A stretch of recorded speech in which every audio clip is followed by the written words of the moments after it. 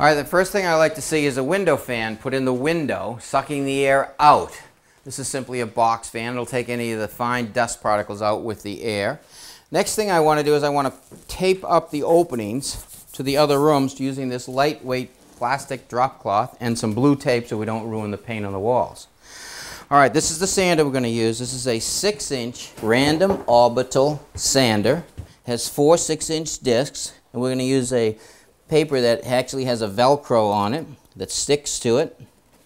And this is a 36 grit paper, nice and coarse to get started with. So I just put it on right here? Center it on the disc and stick it on there. Okay. Now what I want you to do is grab the machine with your right hand, hold on to it firmly with your right hand, reach underneath and push the switch on. Now just randomly push the machine back and forth, twisting it. Do not push down on it. It's forward and back, left and right. When you can go up against the cabinets, but be careful you don't bang them. All right, now you're starting to get over here near the cabinets. The trick, let me show you how to do this against the cabinet. You're going like this randomly. Now what I'm going to do is slowly go against the cabinet, just letting the sander touch it lightly. I don't want to scratch it. Gonna go like that, nice and slow. I'm gonna go back again, nice and easy. Now what I want to do is I want to turn the sander on about a 45 degree angle. Why do you want to do that? Because I want to get the sandpaper to sand between the voids of the sanding disc.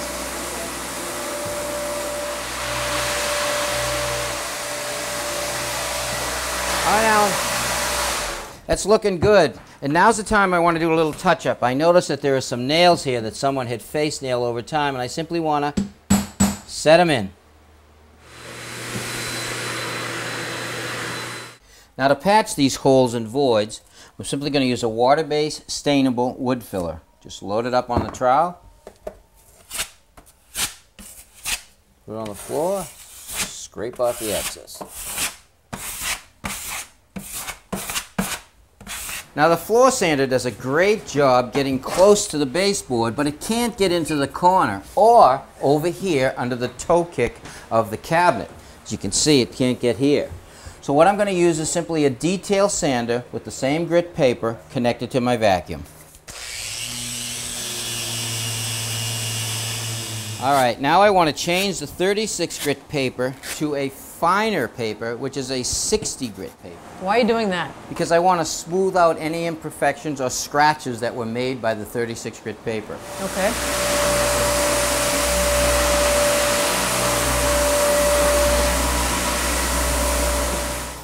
Rather than move the refrigerator out of the kitchen, I actually propped it up on a couple of 2x4s. Now I need to sand underneath the front edge of the refrigerator, but I can't get a sander in there. So I'm simply going to take the finish off the floor using this paint scraper and drag it across the finish. It takes it right off.